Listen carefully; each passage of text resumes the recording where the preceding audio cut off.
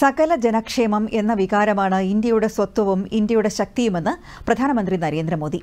പ്രതിമാസ റേഡിയോ പരിപാടിയായ മൻ കി ബാത്തിലൂടെ രാജ്യത്തെ ജനങ്ങളോട് സംവദിക്കുകയായിരുന്നു അദ്ദേഹം മൺസൂൺ മാസത്തിൽ പ്രകൃതിക്ഷോഭങ്ങളെ നേരിടുന്നതിലും ജലസംരക്ഷണ പ്രവർത്തനങ്ങളിലും വൃക്ഷങ്ങൾ നട്ടുപിടിപ്പിക്കുന്നതിലുമെല്ലാം രാജ്യത്തെ ജനങ്ങൾ ഒത്തൊരുമിച്ച് പ്രവർത്തിച്ചതിന്റെ അനുഭവങ്ങൾ പ്രധാനമന്ത്രി വിശദീകരിച്ചു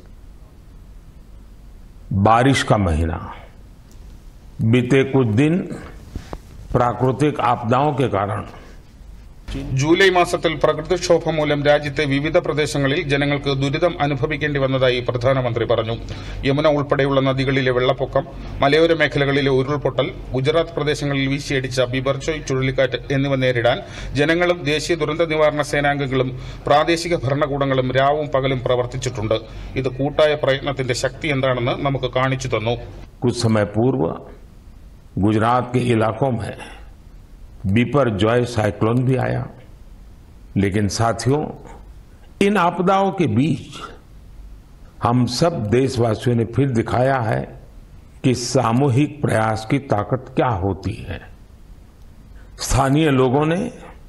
हमारे एनडीआरएफ के जवानों ने, स्थानीय प्रशासन के लोगों ने दिन रात लगाकर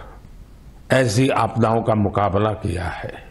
ഉത്തർപ്രദേശിൽ ഒരു ദിവസം കൊണ്ട് മുപ്പത് കോടി മരങ്ങൾ നട്ടുപിടിച്ച് റെക്കോർഡ് സൃഷ്ടിച്ച വാർത്ത പ്രധാനമന്ത്രി ചൂണ്ടിക്കാട്ടി. സ്വാതന്ത്ര്യത്തിന്റെ അമൃത മഹോത്സവത്തോടനുബന്ധിച്ച് നിർമ്മിച്ച അറുപതിനായിരത്തിലധികം അമൃത് സരോവരങ്ങളുടെയും ശോഭ വർദ്ധിച്ചിട്ടുണ്ട്.